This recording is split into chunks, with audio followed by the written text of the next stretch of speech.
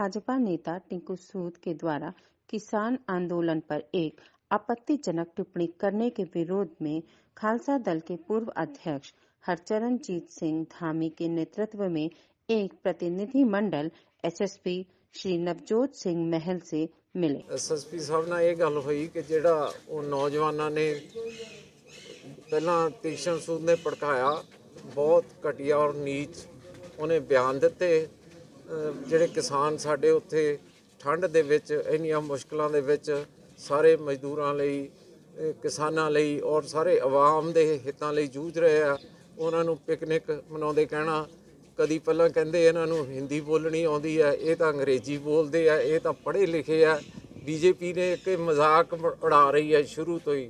ਔਰ ਜਿਹੜਾ ਗੋਦੀ ਮੀਡੀਆ ਹੈ ਕਿ ਇਹ ਤਾਂ ਅੰਗਰੇਜ਼ੀ ਬੋਲਦੇ, ਇਹ ਤਾਂ ਪੜ੍ਹੇ ਲਿਖੇ, ਇਹ ਤਾਂ ਜੀਨਾ ਪਾਉਂਦੇ ਆ, ਇਹਨੇ ਤਾਂ ਜੀਪਾਂ 'ਚ ਆਉਂਦੇ ਆ। ਸੋ ਹੁਣ ਉਹਨੇ ਕਿਹਾ ਕਿ ਇਹ ਤਾਂ ਪਿਕਨਿਕ ਮਨਾ- ਮਨਾ ਰਹੇ ਆ।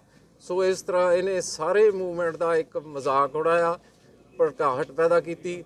ਉਸ ਭੜਕਾਹਟ ਤੋਂ ਸਾਡੇ ਬੱਚਿਆਂ ਨੇ ਉਤੇਜਿਤ ਹੋ ਕੇ ਉਹਦੇ ਘਰ ਦੇ ਵਿੱਚ ਗੋਹੇ ਦੀ ਟਰਾਲੀ ਢੇਰੀ ਕੀਤੀ ਤਾਂ ਕਿ ਉਹਨੂੰ ਪਤਾ ਲੱਗ ਸਕੇ ਕਿਸਾਨ ਦੀ ਜਿਹੜੀ ਪਿਕਨਿਕ ਹੈ, ਉਹ ਗੋਹੇ ਤੋਂ ਸ਼ੁਰੂ ਹੁੰਦਾ, ਉਹਦਾ ਦਿਨ ਗੋਹਾ ਚੁੱਕ ਕੇ ਫਿਰ ਅੱਗੇ ਉਹ ਸਾਰਾ ਦੁੱਧ ਚੋ ਕੇ ਸ਼ਹਿਰਾਂ ਦੇ ਵਿੱਚ ਆਉਂਦਾ ਔਰ ਮਿਠਾਈਆਂ ਖਾਂਦੇ ਆ, ਮੌਜਾਂ ਕਰਦੇ ਆ। ਸੋ ਕਿਸਾਨ ਕਿੰਨੀਆਂ ਹਾਰਡਸ਼ਿਪਸ ਹੁੰਦੀਆਂ। ਲੇਕਿਨ ਉਹਨਾਂ ਨੇ ਫਿਰ ਪੰਜਾਬ ਪੁਲਿਸ ਨੇ ਉਹਨਾਂ ਦੇ ਦਬਾਅ ਦੇ ਹੇਠ ਆ ਕੇ ਬੱਚਿਆਂ ਦੇ ਉੱਤੇ ਨਜਾਇਜ਼ 307 452 ਤੇ ਹੋਰ ਧਾਰਾਵਾਂ ਲਾ ਕੇ ਪਰਚੇ ਦਾਇਰ ਕੀਤੇ ਜਿਹਦੇ ਚ ਵਿੱਚੋਂ 307 ਦਾ ਪਹਿਲਾਂ ਹੀ ਇਨੀ ਐਸਐਸਪੀ ਦੇ ਸਾਹਮਣੇ ਜਿਸ ਤਰ੍ਹਾਂ ਦੱਸਿਆ ਕਿ ਅਸੀਂ ਹਟਾਤੀ ਸੀ। ਪਰ ਸਾਡਾ ਇਹ ਜ਼ੋਰ ਹੈ ਕਿ ਜਿਹੜੇ ਪਰਚਾ ਆ, ਇਹ ਹੀ ਨਜਾਇਜ਼ ਹੋਇਆ ਇਹ ਪਰਚਾ ਰੱਦ ਹੋਣਾ ਚਾਹੀਦਾ ਹੈ। ਉਹ ਕਹਿੰਦੇ ਕਿ ਅਸੀਂ ਇਹਦੀ ਸਮੀਖਿਆ ਲਈ ਉਹਨੀ ਐਸਆਈਟੀ ਬਣਾ ਦਿੱਤੀ ਹੈ, ਜਿਹੜੀ ਇੱਕ ਦੋ ਦਿਨ ਦੇ ਵਿੱਚ ਸਾਨੂੰ ਦੱਸੂਗੀ ਔਰ ਸਾਨੂੰ ਆਸ ਹੈ ਕਿ ਜਿਹੜੀ ਇਹ ਸਾਡੇ ਨਾਲ ਧੱਕੇਸ਼ਾਹੀ ਹੋਈ ਹੈ, ਇਹਨੂੰ ਦਰੁਸਤ ਕੀਤਾ ਜਾਊਗਾ, ਪਰਚਾ ਰੱਦ ਕੀਤਾ ਜਾਊਗਾ।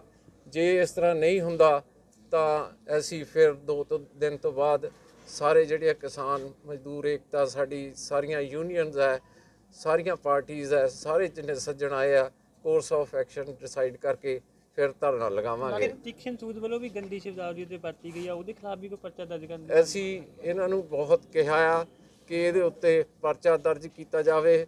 ਉਹ ਕਹਿੰਦੇ ਇਹਦੇ ਬਾਰੇ ਵਿਚਾਰ ਕਰਾਂਗੇ ਕਿਉਂਕਿ ਜਿਹੜਾ ਤਿਕਸ਼ਣ ਸੂਦ ਦਾ ਬੀਜੇਪੀ ਦੇ ਨੇਤਾ ਹੈ ਨਾ ਇਹ ਬਾਰ-ਬਾਰ ਇਹਨਾਂ ਤੋਂ ਬਰਦਾਸ਼ਤ ਨਹੀਂ ਹੁੰਦਾ ਕਿ ਜਿਹੜਾ ਮੂਵਮੈਂਟ ਹੈ ਬਹੁਤ ਸ਼ਾਂਤਮਈ ਚੱਲ ਰਿਹਾ ਹੈ। ਇਹ ਬਾਰ-ਬਾਰ ਅਜਿਹੀਆਂ ਕੋਸ਼ਿਸ਼ਾਂ ਕਰ ਰਹੇ ਆ ਭੜਕਾ ਰਹੇ ਆ।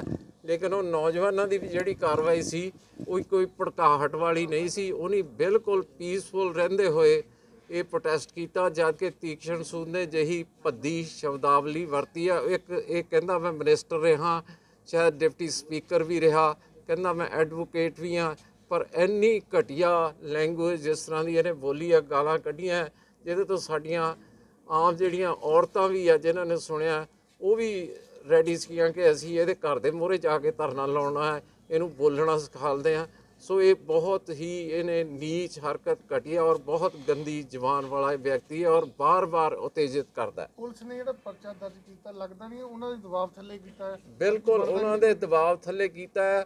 ਉਹ- ਕਿਉਂਕਿ ਉਹਨਾਂ ਨੇ ਨੌਜਵਾਨ ਤਾਂ ਆਪਣੀ ਕਾਰਵਾਈ ਕਰਕੇ ਚਲੇ ਗਏ ਫਿਰ ਉਹਨੇ ਧਰਨਾ ਜਿਹਾ ਲਗਾਇਆ ਜਾਂ ਐਸਐਸਪੀ ਸਾਹਿਬ ਨੇ ਜਾਂ ਪੁਲਿਸ ਨੇ ਇਹਨਾਂ ਨੂੰ ਲੱਗਾ ਕੰਟਰੋਲ ਕਰਨ ਲਈ ਉਹਨਾਂ ਨੂੰ ਕਿਹਾ ਜੋ ਲਿਖਾਣਾ ਤੁਸੀਂ ਲਿਖਵਾ ਦਿਓ। ਪਰ ਉਹ ਤਾਂ ਵਕੀਲ ਸੀ ਉਹਨੂੰ ਪਤਾ ਸੀ ਵੀ 307 ਨਹੀਂ ਬਣਦੀ 452 ਨਹੀਂ ਬਣਦੀ ਸੋ ਉਹਨੇ ਇੱਕ ਧੱਕੇਸ਼ਾਹੀ ਨਾਲ ਪੁਲਿਸ ਤੇ ਦਬਾਅ ਪਾ ਕੇ ਪਰਚਾ ਦਰਜ ਕਰਾਇਆ ਸੀ। ਕਿੰਨੇ ਬੰਦਿਆਂ ਦੇ ਉੱਤੇ ਪਰਚਾ ਦਰਜ ਕੀਤਾ? ਪੁਲਿਸ ਨੇ ਜਿਹੜਾ ਨਾਮ ਵੀ ਦਰਜ ਕੀਤਾ ਉਹ ਕੋਈ ਪਤਾ ਆਇਡੈਂਟੀਫਾਈ ਨਹੀਂ ਹੋ ਸਕਦਾ। ਕੋਈ ਐਸਾ ਬੰਦਾ ਨਹੀਂ ਹੈ ਜਿਹਦਾ ਨਾਮ ਰਣਵੀਰ ਸਿੰਘ ਖਾਲਸਾ ਔਰ ਟੋੜਾ ਹੋਵੇ ਤੇ ਬਾਕੀ ਉਹ ਅਣਪਛਾਤੇ 10 ਬੰਦਿਆਂ ਤੇ ਕੀਤਾ। ਬਾਬੂ ਜੀ ਹਾਂਜੀ। ਕਿਸਾਨ ਵੀਰਾਂ ਦੀਆਂ ਮੌਤਾਂ ਹੋ ਰਹੀਆਂ ਇਸ ਸੰਘਰਸ਼ ਦੀ ਬਲੀ ਚੜਦੇ ਪਏ ਆ। ਹਾਂਜੀ। ਸੋਚ ਰੱਖਦੇ ਹੋ ਵੀ ਚਾਰ ਨੂੰ ਕੋਈ ਸਿੱਟਾ ਨਿਕਲਿਆ ਹੋਊਗਾ? ਦੇਖੋ ਅਸੀਂ ਤਾਂ ਪਹਿਲੇ ਦਿਨ ਤੋਂ ਹੀ ਚਾਹੁੰਦੇ ਆ ਕਿ ਸਿੱਟਾ ਨਿਕਲੇ ਜਿਹੜੀ ਗਵਰਨਮੈਂਟ ਆ ਉਹ ਜਿਹੜੇ ਉਹਨੇ ਕਾਨੂੰਨ ਆ ਉਹਨਾਂ ਨੂੰ ਰੱਦ ਕਰੇ ਵਾਪਸ ਲਵੇ ਤੇ ਜਿਹੜਾ ਐਮਐਸਪੀ ਆ ਉਹਦੇ ਸੰਬੰਧੀ ਕਾਨੂੰਨ ਬਣਾਵੇ। ਲੇਕਿਨ ਉਹ ਜਵਾਨੀ ਵਾਅਦੇ ਕਰਨੇ ਔਰ ਐਵੇਂ ਹੀ ਕਿ ਅਸੀਂ ਇੱਕ ਲੈ ਲਿਆ ਵਾਪਸ ਲੈ ਲਿਆ ਦੂਸਰਾ ਲੈ ਲਿਆ ਸੋ ਉਹਨਾਂ ਉੱਤੇ ਵਿਚਾਰ ਕਰਨ ਦੀ ਗੱਲ ਨਹੀਂ ਹੈ ਉਹਨਾਂ ਨੂੰ ਵਾਪਸ ਲੈਣ ਦੀ ਹੈ ਔਰ ਜਿਹੜੇ ਕਿਸਾਨ ਹੈ ਉਹਨਾਂ ਨੂੰ ਇਹ ਭੁਲੇਖਾ ਕਿ ਵੱਜ ਕਰ ਜਾਣਗੇ ਜਾਂ ਪਿੱਛੇ ਹਟ ਜਾਣਗੇ ਇਹ ਭੁਲੇਖਾ ਗਵਰਨਮੈਂਟ ਦਾ ਪਤਾ ਨਹੀਂ ਕਦੋਂ ਨਿਕਲਦਾ ਹੈ ਇਹ ਗਵਰਨਮੈਂਟ ਦੇ ਉੱਤੇ ਡਿਪੈਂਡ ਕਰਦਾ ਹੈ। ਕਿਸਾਨ ਜਥੇਬੰਦੀਆਂ ਨੇ ਖੁੱਲੇ ਤੌਰ ਤੇ ਪੰਜਾਬ ਸਰਕਾਰ ਨੂੰ ਵੀ ਇੱਕ ਚੇਤਾਵਨੀ ਦਿੱਤੀ ਹੈ ਵੀ ਗੰਨੇ ਦੀ ਬਕਾਇਆ ਰਾਸ਼ੀ ਦਿੱਤੀ ਜਾਵੇ ਗੱਲਾਂ 'ਚ ਇਹ ਵੀ ਨਾ ਰੱਖਣ ਕਿਸਾਨਾਂ ਨੂੰ। ਹਾਂਜੀ ਬਿਲਕੁਲ ਗੰਨੇ ਦੀ ਜਿਹੜੀ ਬਕਾਇਆ ਰਾਸ਼ੀ ਉਹ ਕਿਸਾਨਾਂ ਨੂੰ ਮਿਲਣੀ ਚਾਹੀਦੀ ਹੈ।